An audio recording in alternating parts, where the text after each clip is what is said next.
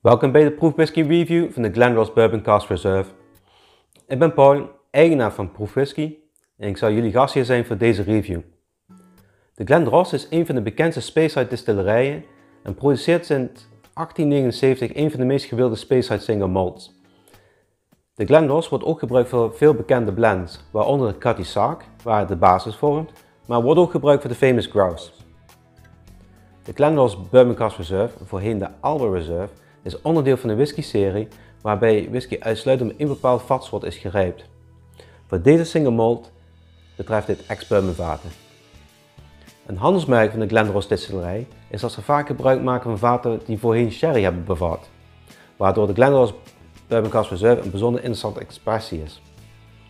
Hiermee ervaar je de best mogelijke manier hoe de bourbonvaten de smaak van de Glenrose whisky beïnvloeden. De Glenrose Bourbon Cask Reserve in het kort.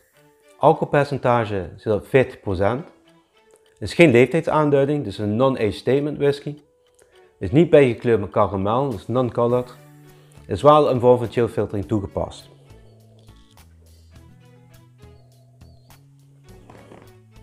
De geur is fris, licht, bijna bloemig te noemen, heel toegankelijk. Ruik uh, kokos, vleugje vanille. En met wat fantasie ook een beetje witte chocola.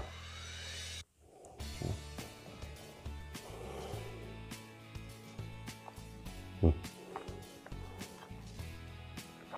Smaak is ook zacht. Maar desondanks zit er wel een licht kruidigheid aan. Een beetje peperig. Neiging richting de witte peper. Hm. Verder een beetje kaneel. Iets van zwarte bessen. Denk ik. Hm. Nou, lichte tonen van honing en vanille.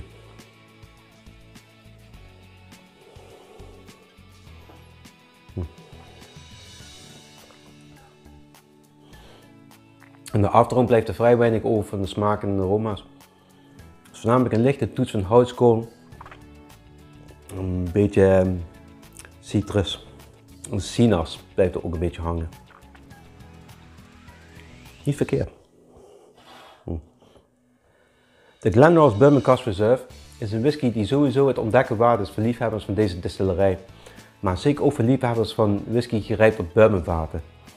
Ik zou hem zelfs ook willen aanraden voor beginnende whiskydrinkers, vanwege zijn zachtheid en zijn toegankelijkheid. Ik wil jullie bedanken voor het kijken en ik zie jullie bij de volgende. Slanje.